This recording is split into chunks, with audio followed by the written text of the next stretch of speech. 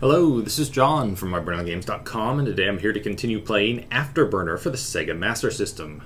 This is the second episode of my Let's Play for this game. Uh, I don't think I will beat it. I did some further reading on it after the first episode. There are no checkpoints in it, like there are in uh, Afterburner for the Sega 32X. Uh, there are, however, continues. Uh, if you press the 1 and 2 button and hold up, or if you hold all three after you lose your life, you can continue from where you left off.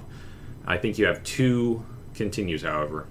That being said, there is a reported cheat code, or you know, cheat code for the game where if you press the pause button, which is on the console itself, the controller just has two buttons and the directional pad.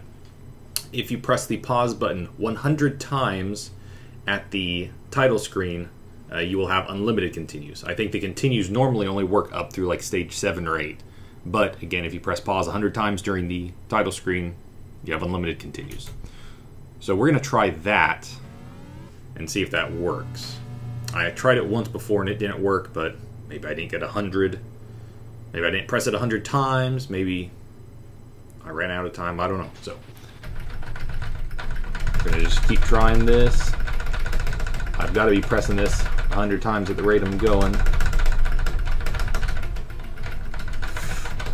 Oh, that's got to be getting close. I need like I need a second person here to keep count. Ooh.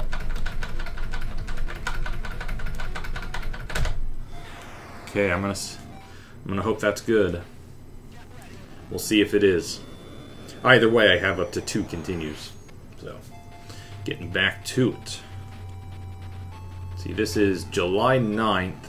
It's been a day or two since I played this, or since my last video. Finished out the work week. It's Saturday, so enjoying the weekend. I'm enjoying playing Pokemon Go. Finally able to get that going.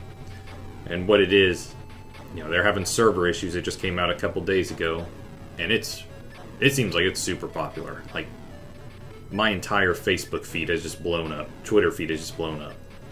People playing it that I would never peg as someone being into Pokemon or playing it, or these people are playing it. Uh, but the issue, you know, stems from server overload, and specifically, it looks like server overload with the Pokemon Trainer Club. Uh, whenever you play the game, you have two options of signing in or two options of creating profiles. One is to sign in with the Pokemon Trainer Club, which I already had an account with, and every time I try and sign in, you know, I get the it just sits there forever. It doesn't progress. Second method of signing in is signing in with Google, and that's the method that actually seems to work, since that's you know I'm guessing using other company servers, Google's in that case. Uh, but you sign in with Google, I'm able to get in. And I have an Android phone, so I mean, I'm already using Google, my Google profile for a ton of other stuff. But man, I'm glad I didn't wait any longer to try and get signed in because I'm having so much fun with it. Last night we went and saw Princess Mononoke at a Circle Cinema, Tulsa's kind of independent art house, independent film house, and that was a blast. I mean, I was I was surprised at how many people turned out. We went and saw Spirited Away a couple of weeks ago, and there was a lot of people there. Uh, movie theaters maybe half full, two thirds full. Uh, but whenever we went and saw Princess Mononoke last night, it was sold out pretty much. It was gone, and I guess there was actually a second theater they had to put people in. So that's cool. But beforehand, we went to Utica Square, kind of an upscale shopping center here in Tulsa, Midtown, and ran into a whole host of other people playing Pokemon Go. Just a whole, I think we ran into like four other groups of a person or couple people playing Pokemon Go independently, independent of each other. And Utica Square was a good place to play it because there were so many Pokestops.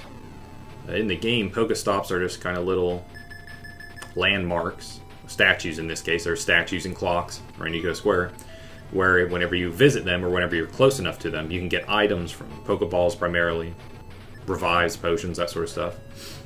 And so we were all out here just roaming around Utica Square at like 9 o'clock at night, 9.30 at night. Just going to all these statues, going to these clocks, and it was fun. Had a couple of good conversations with people, which uh, after after the terrible news that's been all over all over social media and just news in general this past week, it's really uplifting to be able to go out and interact with complete strangers in a positive way, have a good time. Oh man, I'm just biting the dust here.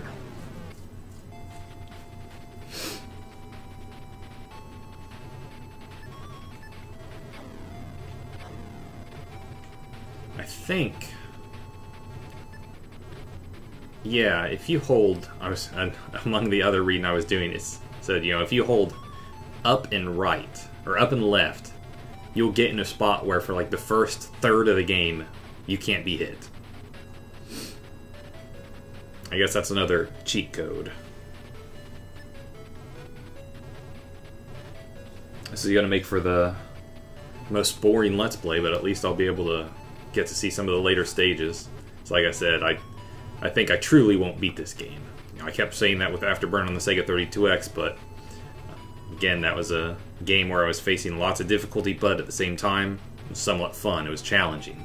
I knew I could overcome the barriers, the obstacles in my way. This one, I don't know that I will. And not because I don't think I can overcome the obstacles and barriers, it's just I'm not having as much fun with this one as I was with uh, the Sega 32X game.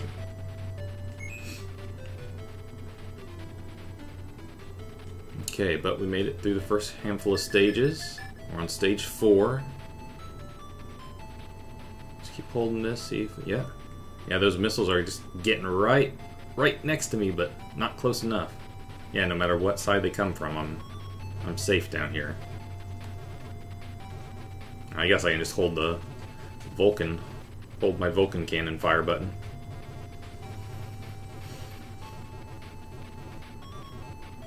But yeah, and after uh, after seeing Princess Mononoke last night, we got out like 12:30. My phone had died in the theater.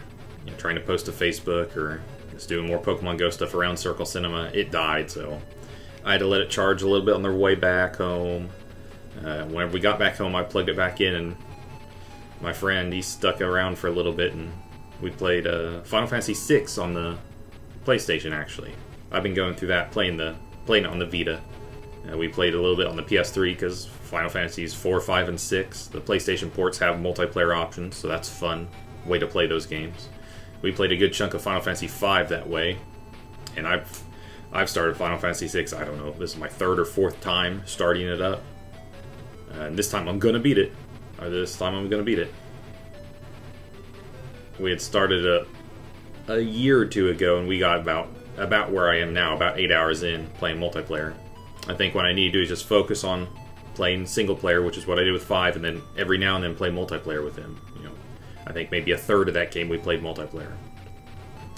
But anyways, we, he stuck around for a little bit. Let our we let our phones charge, and then we went out for a late night walk around the neighborhood looking for Pokemon. We wound up walking three miles. I turned on Map My Run, the Map My Run app, just to track to see how far we actually went. And we were out there for like an hour, walked uh, three miles, which this was at like two o'clock, three o'clock at night. So we were walking, and it's like I can't imagine what people were thinking. That's fine. There weren't a lot of people out, just a little bit of traffic. Not the best time of the season to do that. It's summertime here, of course, and was it pretty much mid-July. It's the 9th. It's mid-July nearly. And even at like 2 o'clock at night, whenever we're out, it felt like it was 90 degrees outside. It wasn't... It wasn't... I think it was probably in the 80s, but the humidity, we've had some... We had some rain yesterday. The humidity made it feel like it was probably 90. It was pretty nice because it was dark, didn't have the sun beating down, heating you up in that manner, but the humidity really just got to us after after an hour walking around. Just feel real sweaty, feels like clothes are sticking to your skin as they brush up against you. Yeah, this is a uh, quite the boring way to play this game, but it's effective, I guess. I should have done this from stage one, not have to burn a continue. Okay, so we're back over the land that is green. Back over, I guess, presumably some forest land.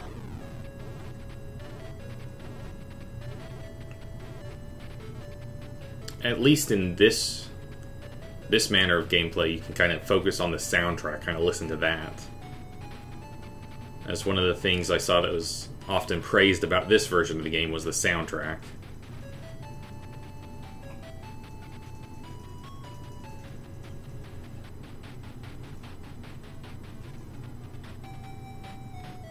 So I don't know, it seems fine.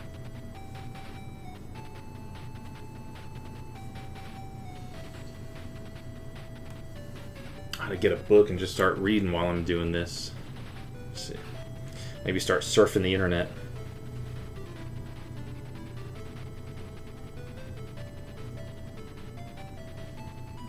I don't know what I'll play next on the Master System. I've got Ys the Vanished Omens pulled out. Jenny's been playing the Ys games on the PSP. She's not one for RPGs, but she's not one for turn-based RPGs, uh, which is why the Ys games is something she can get into. It's action-oriented. It's kind of like The Legend of Zelda, just with a lot more stats. Basically, uh, the mana games, and she's really digging those. So I was thinking, man, I ought to check out the first Ys game. So that may be in the docket. Oh, cannot avoid cannot avoid uh, this thing. Okay, and I know in reading that the only thing that damages this are my missiles. Now, am I gonna have to sit through all this stage again? No. So I've gotta go missile crazy here. Man, look at this frame rate. This is just terrible. Man, this is like borderline unplayable. Okay, I guess I got it. I don't know, I was just sitting there mashing the missile button, holding down the Vulcan. Just darting left and right. Okay. There's a little hang-on reference, super hang-on reference. And playing this makes me realize that Afterburner 2 is just basically Afterburner. It just seemed like uh, same stages almost you know, different. I'm sure that wave design of enemies is different. More, I know there are more enemies. Just looking through the manual for this, at least. Well, I don't know if there are more enemies in the arcade version of Afterburner than there are in Afterburner for the Master System. But Afterburner 2 seems like it's just the same game.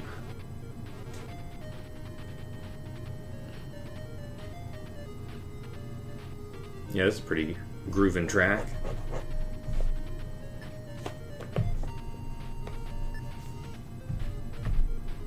Another game I popped in recently for the Master System whenever I was doing my test the other day was Ghost House.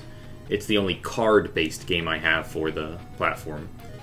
Uh, the Master System accepts two types of games, one being just normal cartridges, the other being little cards, kind of like little, almost like, I guess you'd call it like a credit card. It looks like a TurboGrafx card. I think TG16 took cards, uh, as did the Master System. And it's the only one I have. They come in, you know, thinner cases, Oh, here, I've got it right here. I'll just pull it out. So here's just it's normal size case, but very thin. Ghost House, the Sega card. So whenever you actually look at it, all right, got to another stage. We're at stage eight. Just a little card. There are the contacts on it. Okay, it looks like this method is still going to work on this stage.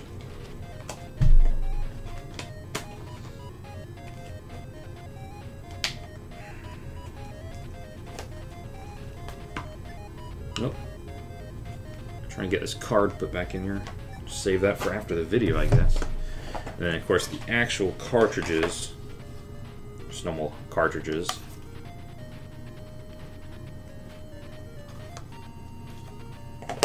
Again, put that up whenever I'm done with this video. Which I've been doing this method for about the last seven minutes, and it's still getting us still getting us through these stages. I don't think you can do this the entire game. I think this method kind of invalidates itself at some point. But I guess we'll see how far it will get us. I don't... Unless I did the... Con, unless I hit, you know, unless that cheat code where you hit pause 100 times during the title screen works and I hit pause 100 times, I have no more continues. If I had unlimited continues, we could just play through this entire game. This would be a really cheap way of doing it, but whatever. If it's in the game, it's in the game.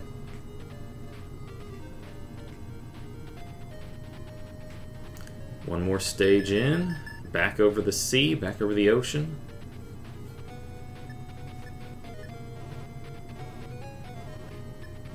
One downside to doing it this method is if it eventually does become untenable, well, you haven't had enough practice you know, shooting down ships, dodging missiles to be effective in these later stages.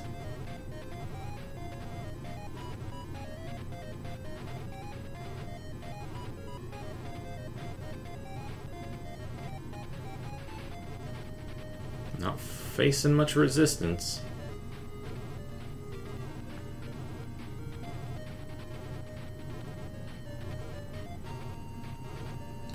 Really facing any resistance. No one's shooting missiles at me.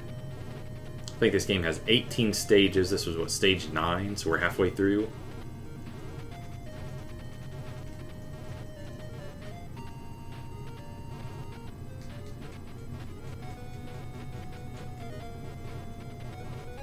Looks like we're going to make it to stage 10.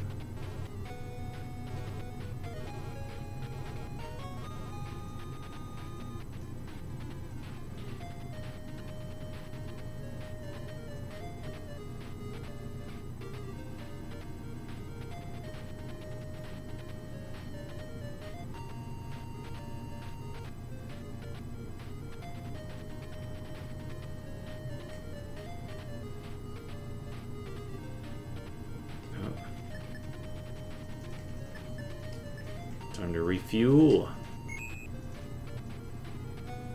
Mid-flight refuel. Okay, stage 10. Back over land, back over Greenland. Okay. Yeah, they're missing me. And Greenland is in the color, not the country. I don't think this game is set in Greenland. Guess while I'm doing this, take an extended look at the manual here. It does have some story information. That's the one thing I missed out with Afterburn on the Sega 32X since I had, so I don't have the manual for it. Got the back of the box, and that's the extent of the knowledge I have on it. Outside, you know, just reading a scan of the manual online. See, mission profile, the time, the present. Location, aboard the aircraft carrier Sega Enterprise, somewhere at sea. You're a Navy air captain with the fastest, meanest set of wings ever to hit the skies. You fly an F 14 Thundercat, the perfect mix of man and machine. You supply the skill, reflexes, and guts. Your Thundercat supplies Mach 2 plus speed, unlimited firepower, and state of the art battle computer, and a state of the art battle computer which targets your enemies. When it comes to flying the unfriendly skies, you're the one they call the Ace. See the mission, codename Afterburner. The enemy has developed a strategy that will help them conquer the free world. This plan is so secret that it was divided into two parts and hidden in different parts of their country. Country is never named, but it is the enemy and they are trying to take over the free world. Hint, hint. Naval intelligence has discovered the locations and are ready to deliver them, but they need you to get the plans out. Stage 11. You must launch from the deck of the Sega Enterprise and battle your way to the two locations. This may get me through the entire game. We may see every stage here.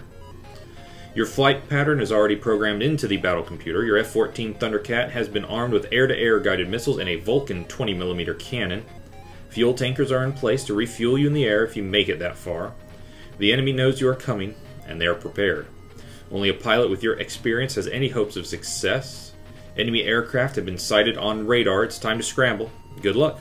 Fate of the war free world depends on your success see what else we got here. Learning to fly, just detailing what the buttons do, kind of how to maneuver the ship since I guess the directions are inverse. Make the F-14 Thundercat barrel roll. See the object. The object of Afterburner is to complete 18 stages of aerial combat, meet the trucks at each landing field to obtain the plans, and return safely to the aircraft carrier Sega Enterprise. End of the game, you start Afterburner with three F 14 Thundercats. If your jet is hit by an enemy missile and explodes or falls to the ground, you lose that jet. Another will take its place so you can resume combat in the air. You get additional jets when your score reaches 5 million points and 15 million points.